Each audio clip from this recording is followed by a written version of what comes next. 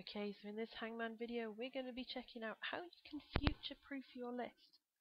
What I mean by this is, actually if we added extra words to our, sort of like our bank of words, our list of words that we created before, we've unfortunately then got this, in, this space that we have to change within that rand int. Every time we add a word, we have to up the count and, and put it down at the bottom, but there's a way, there's got to be a way, within Python, that we can actually use one of the functions inbuilt with it to solve our problem. Let's have a closer look. Okay, I thought it would be really useful to see exactly what I would do in this situation. We want to future-proof that list, so I want to find a way in Python of actually finding a list length or a length of a list. Now there's a lot of choices here, hang on then. Actually the third one down might be a better one, we'll try this one first.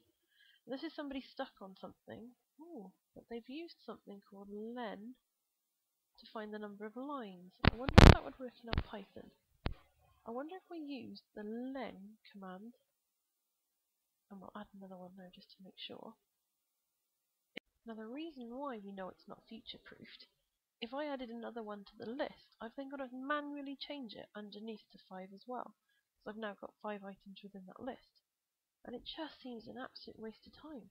I want to be able to add a word to a list, and hopefully this len will actually tell me the length of the list, so it should print out 5 at the moment. Let's go for it. Absolutely, because I added processing, I've now got 5 items in my list. Now if I put 5 in that bracket, it's not going to work with the rand int, because if I've got the sixth one, I'll just add it in for a second.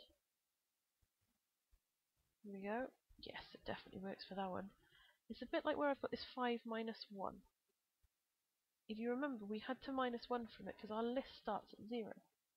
But if I do that within the, after the length, I can actually just type in my variable name list length to make it a list between 0 and in this case now 6.